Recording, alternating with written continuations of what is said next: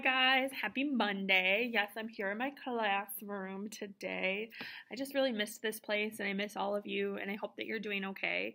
We are going to take a break from our research today and we are going to do an article of the week.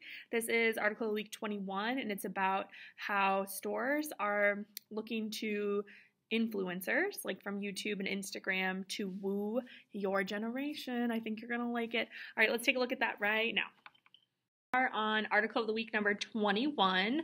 I loved the content of this article. It's all about how stores are looking to YouTubers to woo kids in your generation to like make them buy things.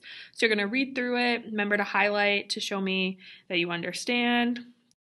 There's two of these multiple choice questions and then for the handwritten questions, in your opinion, why do so many people watch toy reviews on YouTube? So that's just a short what do you think? Then for the second question, you're going to go to YouTube and you're going to watch a toy review of your choice.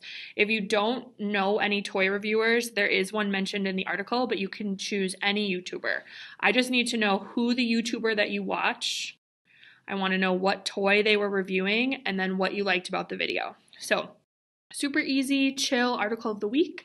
Um, additionally, make sure that you are caught up on your research. You should have three websites done today. Otherwise, I will see you all tomorrow. Bye, guys.